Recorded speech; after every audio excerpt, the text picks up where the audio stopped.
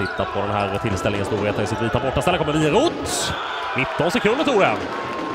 Innan Niklas Winroth fortsätter sin poängproduktion. 14 målet. Och vilken drömstart för honom. Och för hans lag. Och det är avslutet på mål. Mål, bra spelat, kommer Sjögren. Vad hittar han på?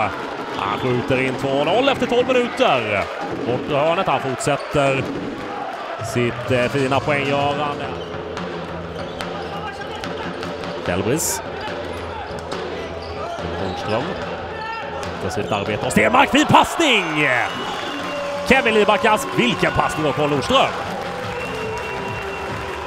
En väldigt hård träningsvecka där.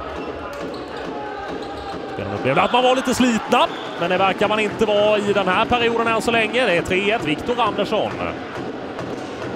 Backarna har slut. Då får väl Jimmy Pettersson en assist.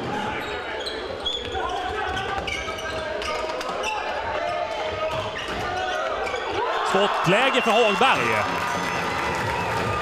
Efter en intensiv hög press som startades av Nordström.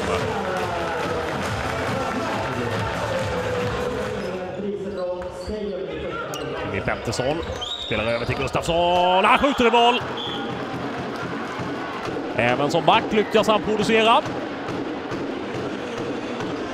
Flera dueller nu, härligt att se. Ganska hårda sådana, Oskar Hagberg! 3-4, klubban går sönder samtidigt, men det gör ju ingenting för att han gör sitt andra mål. Samuelsson. Många passningar. Jimmy Pettersson. Han får hur mycket tid som helst! Och han gör 5-3! Vilken comeback han har haft! Jimmy Pettersson. Tredje poängen idag. Återtas frislaget ifrån Stefansson och Storvreta tar en eh, ny eh, trepoängare.